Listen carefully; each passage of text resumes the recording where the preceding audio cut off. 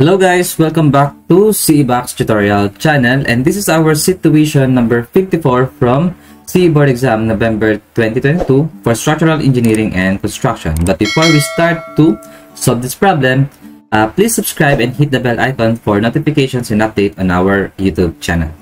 An arch is given as shown. Yan, ito yung ano, yung arch na kung saan meron mga given na uh, forces and dimensions. So, lagay natin.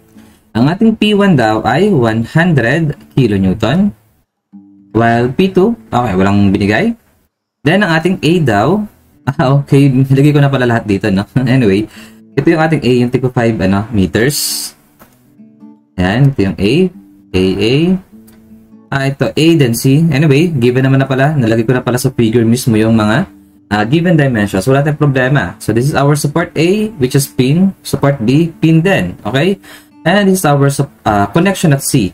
So since tatlong ano to, pin, ang tawag sa kanya ngayon ay uh, 3-hinge arch na. Under yan sa topic ng ano, uh, 3-hinge arch. So, under yan sa topic na structural theory, cables and arches. So, 3-hinge arch. So, bakit nga ba natin kailangan tukuyin kung anong klaseng structure siya? Kasi, uh, sa pamamagitan nun, or sa pagtukoy ng uh, classification ng ating structure, malalaman natin kung paano natin siya i-analyze. Kasi ang 3-hinge arch, uh, since connection lang yan na pin, pwede natin silang i-isolate, no? Isolate member by member. So ngayon, proceed tayo sa problem. If P2 raw is equivalent to 60 kN, yan, 60 kN daw si uh, P2, determine the vertical reaction at B in kilonewton. Yan. The vertical reaction at B. So, madali lang to. So, lagatin na lahat ng reaction, no? So, this is BV. This is BH. This is AH. And this is AB. So, paano naging madali ang ano, AB? Kasi, since pantay ang ating point, uh, yung ating support A and B, pwede tayong mag-moment sa kahit anong point. Kasi, kapag in-extend natin yung mga horizontal components natin dyan sa A and B, at pag nag-moment tayo sa A or B, eh, zero yung moment arm ng ating AH and BH. So, masolve natin yung kanilang mga vertical uh, vertical uh, forces or vertical reaction. Kaya madali lang siya. So, number one, mag-summation of moment lang tayo sa A. Then, equivalent to zero. Clockwise is positive. Yan. So, ang BV iikot ng counterclockwise. So, that is negative BV. Then, multiplied by 15 plus 15. That is 30. Then, ang ikot ng P1 is clockwise. That is positive 100 kilonewton multiplied by Okay, so 30 minus 5, that is 25. Ang P2, iikot naman ng counterclockwise. So, that is negative P2 na 60 kilonewton and then multiplied by 5 meters is equivalent to 0. So, madali lang isolve ang BV. Negative BV Then multiplied by 30 plus 100 multiplied by 25 minus 60 multiplied by 5. Then equivalent to 0. So 73.33. 73.33. So tama naman, I mean, positive naman na nakuha nating reaction. So ibig sabihin tama yung ating assumption sa direction ng ating BB. So siya ay directed upward. Next. If ang P natin is 60 kN, okay, wala tayong problema. Same pa rin. Determine the horizontal reaction at A. Yan.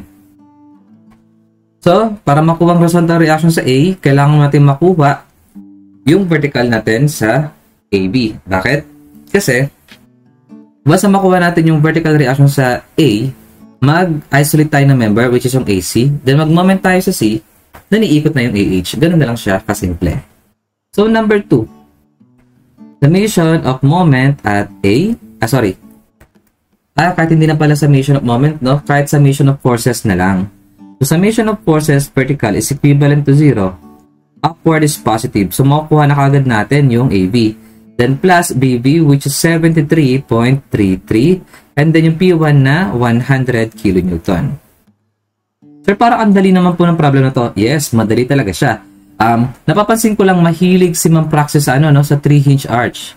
Ayan, kung ako man ang ano, kung ako man ang magbibigay ng problem na ganito, Gusto ko naka-incline pa yan. Yan. Di ba? Meron pa kaming mga ano, di ba? Yung sa 50 problems na nasa sec uh, playlist. Di ba meron mga ganito yata? Nakalimutan ko na eh. Pero alam ko ganyan yung nagawa namin ano, mga video. Ayan no.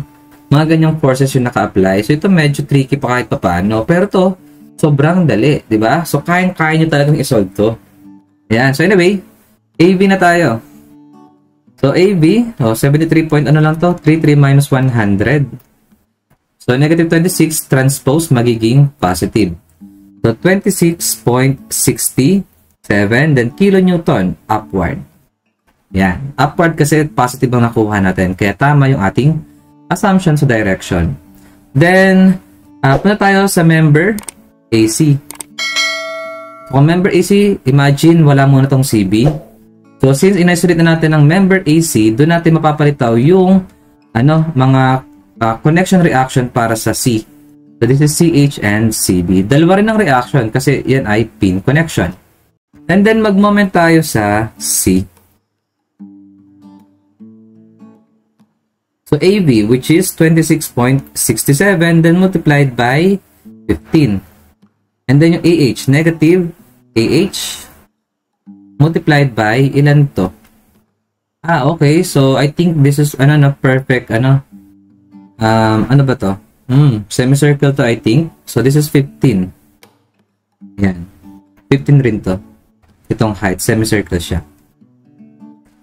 Okay, so cancel lang to. Transpose nyo lang AH. Ang makukuha natin ay positive AH na 26.67 kN. So, kung positive, tama ang ating assumption na siya ay directed to the to the right. Okay? O, oh, di ba dali lang? okay. So, number 3. Ito, medyo tricky lang din ng konti. Tricky question, no? Ayun rin ang napansin ko kay Ma'am Praxi, eh. Yung mga pang last, ano, pang last question, medyo tricky talaga. So, dito, ang sabi niya, if the horizontal reaction at B is 50 kilonewton, Hmm. Una, dito yung tanong is nakakalito kasi wala siyang binigay kung ano yung ano, ano yung magiging direction ng uh, horizontal reaction sa B eh, di ba? Hindi natin masyadong sure. But anyway, let's assume na siya ay directed ano to the uh, ano tawag ito? To the left. Ayan. So ang ating BH is equivalent to to uh, 50. 50 kilonewton. Anyway, ano ba ang AH natin? Ano kasi siya eh? Ah, okay. So, to the ano siya? To the right. So, ang ating 60 kN kasi is to the left. So, I think, ang ating BH is dapat ano? Dapat papunta rin sa ano? Sa tawag rito, papunta rin sa left para suportahan yung 60 kN. Ayan. Ayan. Okay. Yan ang ating BH. Papunta sa right. Para masuportahan si AH. Kasi 26.67 lang to eh. Ba?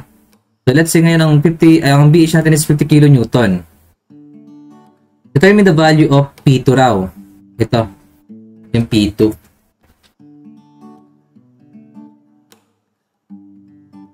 For equilibrium. So, paano natin ma-solve yan? Hindi tayo pwedeng mag-moment sa A eh. Diba? Kapag nag-moment tayo sa A, ah yes, pwede pala tayo mag-moment sa A.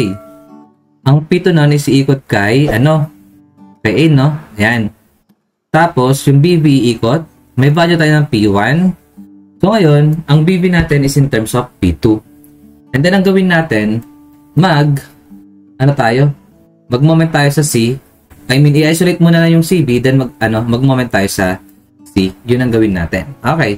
So, at a whole structure, Mag-summation of moment tayo at A is equivalent to 0. Clockwise is positive. The negative, P2. Then multiplied by 5 meters. And then, counter, uh, yes, counterclockwise rin, no? so negative BV. Then multiplied by 30 meters. Then plus P1. Uh, 1,100 uh, pala multiplied by 25. That is 30 minus 5.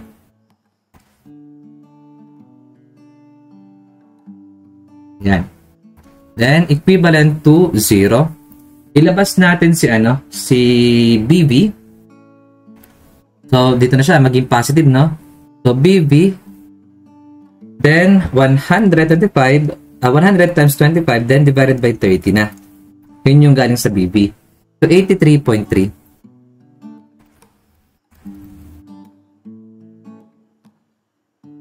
Then, kilonewton. Tapos, uh, yung ano, P2, no? Uh, ang mag-transpose lang naman dito is yung BV, so di na magpapalit ng sign ang P2. So, negative 5 over 30, that is 0.16. Okay. So, negative 0.16 P2. So, equation number 1. And then, at CB, mag-summation of moment tayo at C is equivalent to 0, clockwise is positive iikot ang BB natin ng counterclockwise. So, negative BB. So, ang BB natin is 83.3 then minus 0.16. So, minus yan na. um, nag-delay lang yung ano, control Z. Then, multiplied by, ang BB natin is, ano, may moment arm na 15. Ayan, so minus na siya. Then, ang P2 naman natin is iikot ng ilan to? ano kasi to eh, uh, ah, 5 meters, no? So, kung 5 meters to, ang matitira dito is 15 times, uh, 15 minus 5, so 10. So, P2, clockwise. So, P2 multiplied by 10. Then, yung 100. 100 multiplied by 15 minus 5, so also 10 is equivalent to 0. Tama ba? Ah, hindi, may kulang pa. Yung BH, iikot ng counter clockwise. So, negative BH Ah, wait lang. Ang BH is given, no? Ang BH is 50 kN. Ayan. Then multiplied by 15 is equivalent to 0. So, what is P2? Negative 83.3 minus 0.16 of P2 multiplied by 15. Then plus P2 multiplied by 10. And then plus 100 multiplied by 10. Then minus 50 multiplied by 15 is equivalent to 0. So 80.60.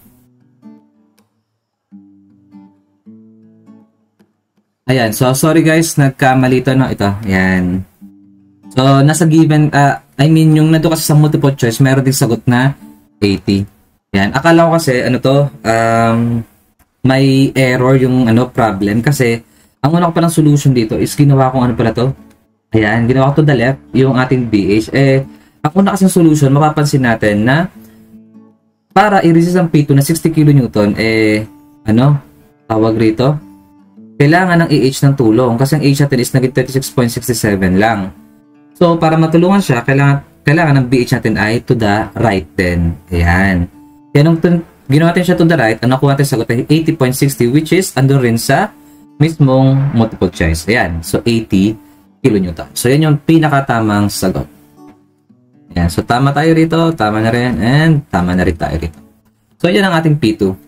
80.60. So, kung ang ating BH naman is 50 kilonewton, kailangan rin niya ng tulong. Ang mag-resist nun is, or ang tutulong sa kanya is yung AH. So, ang AH natin nun is what?